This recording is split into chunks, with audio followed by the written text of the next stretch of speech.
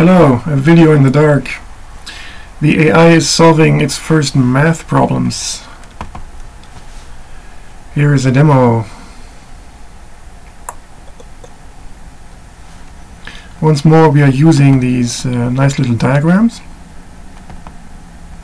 and it's already calculating and the calculation is done. The task is to find a prime number which is odd. Clearly a math problem. And this is the web we put into it. Find an integer that is both odd and prime. The solution, as you will recall from school, is 3.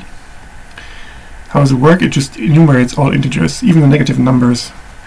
Starts with 0 and 0 and then 1 and minus 1 and 2 and minus 2 and so on, until it finds an integer that satisfies these conditions. Also we put in three helper webs which tell the computer how it can test integers and enumerate integers. These refer to Java code which is automatically loaded from the web and run uh, web meaning the internet in this case, from my big library of Java functions. Here for example we tell the system that the function is called isPrime and this function will test an integer for prime primeness primality I think is the word. So that's the idea. You just put in this kind of web, which is pretty intuitive, I would say. And uh, the other webs are stored in the system anyways. And then it will run and look for matching integers and give you this result.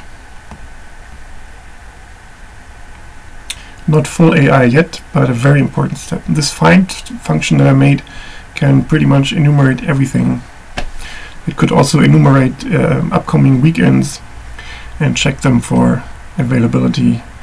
Enumerate people and check them for suitability for any kind of task. Uh, this is uni a universal find algorithm. I was also in contact with uh, AI researchers and it seems there is like a competition going on. Uh, some guy said everybody is thinking they have the solution and blah blah blah. I have the solution and I will demonstrate that I have it now. Stay tuned.